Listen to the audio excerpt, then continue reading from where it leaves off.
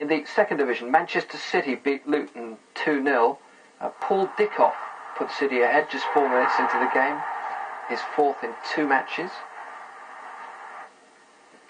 Tony Vaughan made it two six minutes later. That was his first goal of the season. Uh, Millwall also won 2 0 against Colchester. Stoke and Wycombe drew 2 2.